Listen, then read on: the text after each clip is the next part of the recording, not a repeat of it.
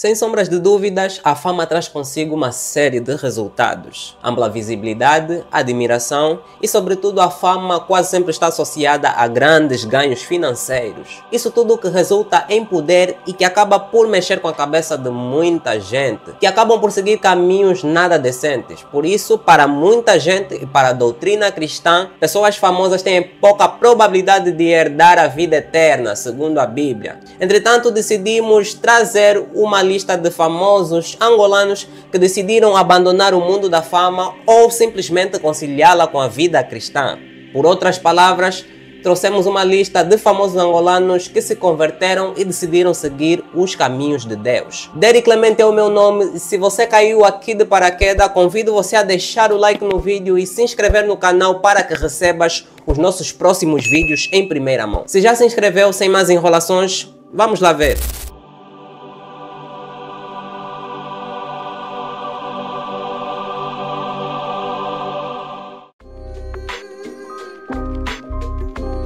Na nossa sexta posição nós temos Micaela Reis. Micaela Reis é uma modelo, apresentadora e atriz angolana que ficou bastante conhecida após ser coroada Miss Angola no ano de 2007. E posteriormente, quando estreou-se como atriz no ano de 2010, participando em diversas novelas que fizeram muito sucesso em solo angolano. Novelas como Gico Lumesso, Voo Direto e por aí fora. Micaela Reis também já aventurou-se como apresentadora de TV, apresentando vários programas que deram bastante visibilidade à sua carreira. Mas Micaela Reis surpreendeu todo mundo propriamente a 20 de agosto de 2021, quando fez uma publicação no seu Instagram onde aparecia sendo batizada nas águas e anunciava um novo começo, um novo rumo na sua vida. Ela decidiu entregar a sua vida e caminhar ao lado de Deus.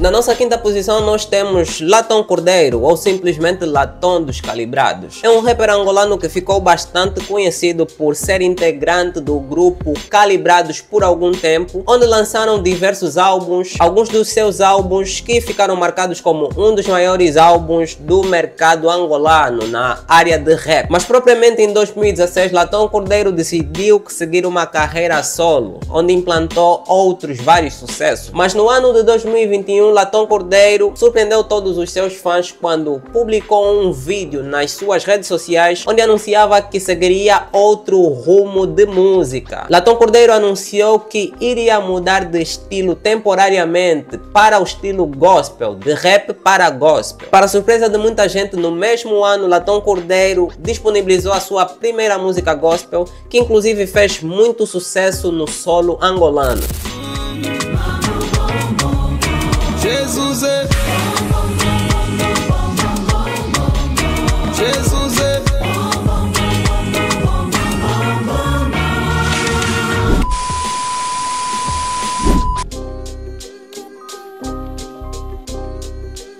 Mr. K, tal como Latão Cordeiro, ficou popular ou extremamente conhecido por ser um dos integrantes do grupo Calibrados, um grupo que fez bastante sucesso no rap nacional. Ficaram a ser conhecidos propriamente a partir de 2005 e marcaram a década completa dos anos de 2000. O grupo Calibrados implantou vários sucessos, mas a sua obra-prima, ou seja, o seu diamante, foi o álbum Negócio Fechado, que ficou marcado como um dos maiores álbuns da história do rap nacional. Foi recordista em vendas e, consequentemente, os calibrados marcaram e encantaram gerações. Mas infelizmente em 2009 Mr. K decidiu abandonar o grupo por motivos acadêmicos, queria prosseguir com seus estudos. Mas após seis anos Mr. K decidiu voltar ao grupo para fazer o lançamento de um álbum que viria a ser o último álbum do grupo. Então após o lançamento do álbum todos os membros do grupo calibrado decidiram seguir carreira solo. E não foi diferente com Mr. K, que decidiu seguir carreira solo, mas em 2017 Mr. K anunciou que pretendia seguir um novo rumo na sua vida. Decidiu seguir os caminhos de Deus e entregar a sua vida completamente às obras de Deus. Decidiu usar a sua arte para exaltar o nome de Deus. Diferente de Latão Cordeiro, Mr. K ainda continuou como rapper, mas numa vertente gospel.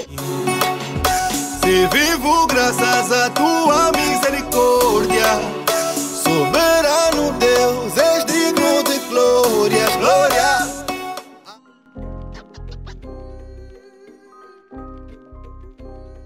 Você lembra de Silvana Karen? Alguns podem lembrar, mas outros acho que não. Silvana Karen ficou bastante conhecida em 2019 após aparecer em uma reportagem de um dos programas da televisão pública de Angola, o programa Na Lente, em um dos episódios onde falavam sobre rituais perigosos. E ao conceder a entrevista, Silvana Karen afirmou que fez pacto com o diabo tudo simplesmente para alcançar a fama. É verdade então que fizeste um pacto? Eu posso dizer que eu saí da, da, da, do mundo de Deus? Digo que sim, fiz um pacto. Pacto com quem? Entendi. Pacto com quem? Vocês querem saber que o pacto que eu fiz com quem? Fiz com a pessoa que as, mais ou menos que as pessoas dizem que é, eu dominador do mundo. Se bem que na minha opinião ela foi burlada, porque até hoje não estamos a ver sucesso da Silvana.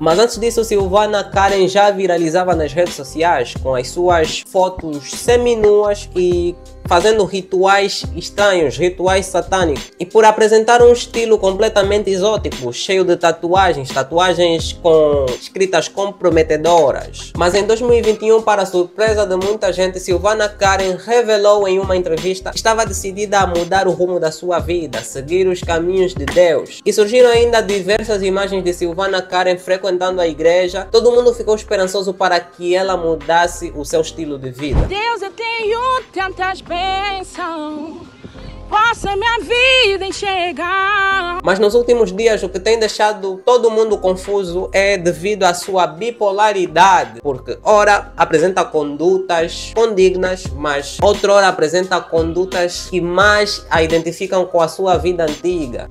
Conheça a BantuBet, a melhor plataforma de apostas digital de Angola. A BantuBet oferece um site extremamente fácil de utilizar. A partir do site da BantuBet você pode fazer as suas apostas com facilidade, com as melhores ofertas. Acessando o nosso primeiro link que está na descrição, você pode criar a sua conta na BantuBet e após o primeiro depósito você pode ganhar um bônus de 100% do valor depositado. Você pode fazer o seu depósito a partir de um agente autorizado da BantuBet ou até mesmo pelo Multicaixa Express ou o aplicativo do seu banco. Então corre lá criar a sua conta na BantuBet a partir do nosso link está na descrição. Aposte na BantuBet, ganhe milhões e milhões. Na nossa segunda posição nós temos Editussa. Editussa é considerado como um dos maiores nomes da música urbana tradicional de Angola, por outras palavras, Semba. Editussa começou no mundo musical propriamente como rapper, como um dos integrantes do grupo Warren B. Mas depois de algum tempo, Editussa viu a sua essência na vertente Semba, então decidiu fazer o seu primeiro lançamento a solo, do primeiro álbum de Semba a solo. Álbum este com o título Izeno Mutale, que consequentemente introduziu Editussa no mercado musical angolano, implantando vários sucessos ao longo do tempo. Então, em 2016, Editussa, durante uma entrevista no programa Zap News do canal Zap Viva, Editussa confessou que ponderava deixar o mundo da música devido à sua educação religiosa com os ensinamentos dos testemunhas de Jeová. Editussa então decidiu não mais cantar como um artista profissional e não lançar mais outros trabalhos, ou seja, abandonar os palcos completamente. Mas para para nossa felicidade, Editussa atualmente retornou aos palcos e vem fazendo vários concertos e lançou alguns singles.